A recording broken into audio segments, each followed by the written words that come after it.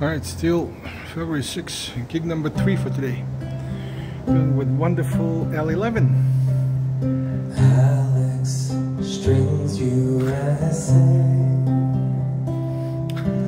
Alex Strings USA. Everybody follow Alex Marlin. Yeah. Strings USA on Instagram. You heard that, right? You heard that?